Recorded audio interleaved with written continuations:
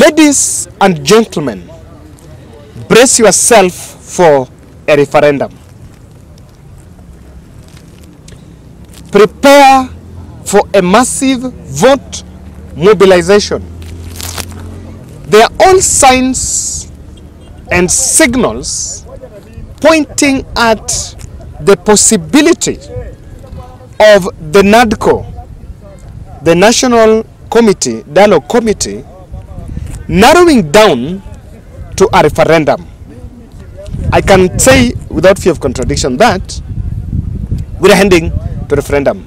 But I want to show you, I want to uh, separate this podcast into two. One, signs that we're heading to a referendum. Number two is why Kenya Kwanza would actually front a referendum as we speak. There are three signs that we're heading to a referendum. Kenya Kwanza, pro Kenya Kwanza um, leaders are appearing before the dialogue committee and making proposals that would only require a referendum to be effected.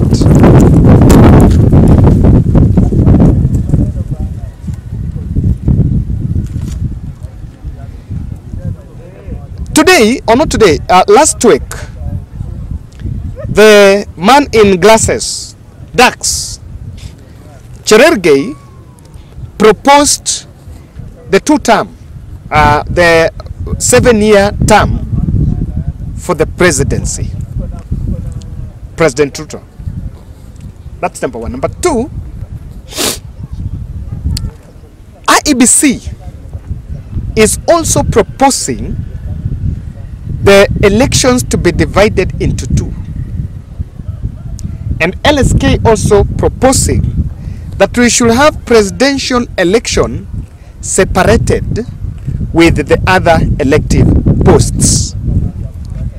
And those election stakeholders are saying this is a proposal that will help us to build confidence and have ample time to prepare from the presidential election because since 2007 we've actually had all disputed presidential elections. So someone is saying we separate the two. The other proposal will also alter the date of the election because according to the basic structure of our constitution here is we are supposed to have election on 10th August 2027. That's what the constitution says. 9th August, not 10th, 9th. So any other proposal touching also on additional constituencies and the revenue share, the revenue share as the one man, one man, one, one man, one shilling, one vote. All these proposals also saying, indicating that the presidential candidate should be allowed to vie as an MP and the creation of deputy prime, uh, the prime minister and deputy prime minister positions, all these positions we are talking about only comes and can only be effected in the constitution through a referendum. And that is one clear sign that pro Ruto side. Remember, these are fellows that told you that katiba ama uchumi and the Hatupangwingwi choir masters shouted uchumi. Now the Hatupangwingwi team have also realized that not even now the uchumi is at the table. So nothing happening about the uchumi. So that's one sign. Number two, you will also realize that Kenya Kwanza are not speaking, are not countering the proposals that are gearing towards a referendum, especially outside here. I can tell you, if Ruto is not privy, if UDA is not privy to what Samson Cherargei is saying, one thing you would have realized is that they would be taking all time castigating Cherargei for proposing the seven year term. Let's take it. So it is very true. The only thing that is going to happen here is it might not take the the popular initiative. It will, it will actually take the parliamentary initiative so that when it goes through parliament, things that can be passed through parliament might be passed through parliament. Then things that will require a referendum will have to proceed through the referendum process. The vote, the signature collection, referendum, then vote mobilization. You create the both camps, no or yes. Then we head there. So I can tell you that uh, even if you look at listen to panelists, there is a clear signal that uh, this is not what many were actually expecting. Number three, signal about a referendum is the constant push by Raila and Kalonzo in the Azimio wing that despite of some signs of non-commitment on the government side, they must stick to the talks. They must stick to the talks. Martha Karua, Jeremiah Kioni, and Kamwene Camp have been insisting that by all means they must, uh, Azimio should pull out of those talks. Martha Karua has been so much specific on that, that Azimio must pull out from those talks. But that has, that has not been the situation. And in fact, Raila Kalonzo, in the meeting that they held last week, insisted that let them give them the benefit of doubt. And uh, there is a soundbite of Raila speaking in Luo Nyanza, and uh, he was speaking in Dholuo. And he was saying that saizi mimi nimenyamaza. Nimenyamaza kwa sababu tunataka tuone vile ile maongezi yenyewe inaongezwa na inaongozwa na Kenya Kalonzo inaendelea. Ikiweza kulenda matunda mazuri ni sawa. Kama mambo itaharibika ndio sasa mimi nitaongea. So that tells you that there is something that Raila, you know, Raila does not keep quiet. I can tell you that uh, Raila is a politician who, you guys look at what is here, you look at what is in your eye, but whatever is happening in this country now, whatever is happening about these talks now, Raila knew the time he was even calling the first protest. He knew very well the protest will happen, government will do all these monkey monkey things, but at the end of the day, Odinga knew that Ruto will come to the table. And you can take it away from him, but there is credit you cannot deny him.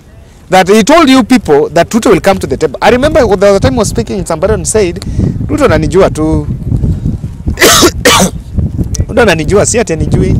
Atapayuka payuka tu, lakini atakuja atatuongea. Are they not talking? Now, so you may want to ask now, what has changed? Do you think William Ruto, where do you think William Ruto will embrace a referendum?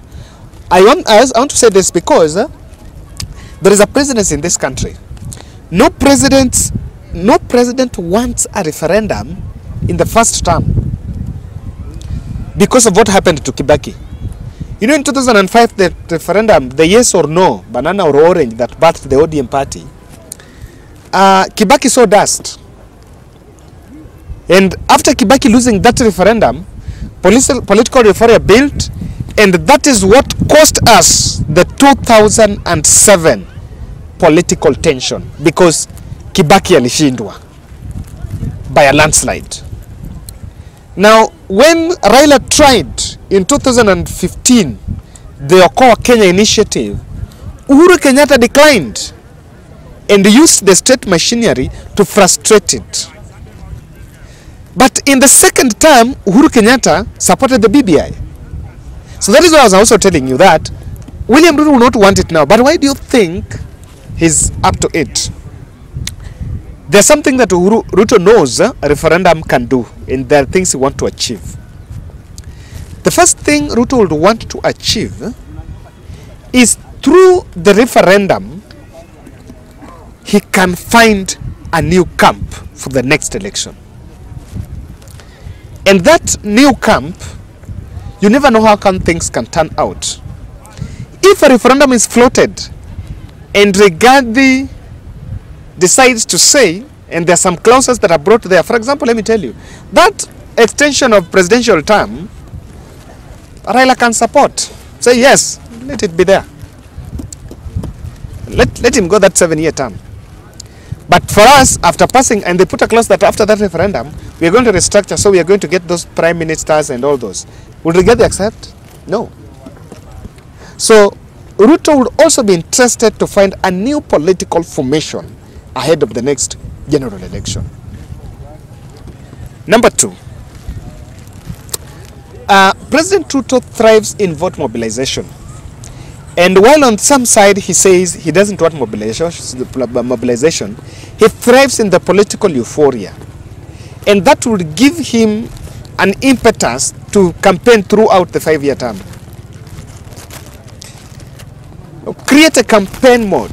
Because when you create a campaign mode, that seems to be where the Kenyans will judge you, but not on the track record. Remember, Kenya Kwanza will not have a track record. I can that one I can bet my sense land. There's no, they will not sell a track record because it's not there. Whether it's by making or not, the shilling is now retailing at 150. I'm telling you. Even if it goes down, it cannot go down to where it was 121. It will not. Not now. So there is no track record now. And Ruto would want to ride on politics and cover track record. In fact, he will say that campaigns have stopped me from working. Number three, I think um, he knows very well that um, vote mobilization would actually uh, inject some resources. And uh, in any case that uh, there is going to be a change or there is going to be some referendum, he will easily strike a deal with Raila Odinga. If the term is extended to seven years, um, I, I don't think Raila is going to buy. And if that is it, he will also use that to woo Mount Kenya. And, you know, because there is no political tokens, there's no political uh, advantages that maybe some regions are going to get because they voted for him. He will use such a referendum to float in some ridiculous clauses, even that one man, one shilling, one vote, so that it takes some credit and say that I've done this for this region. Ladies and gentlemen, that's my take. I want to read your feedback.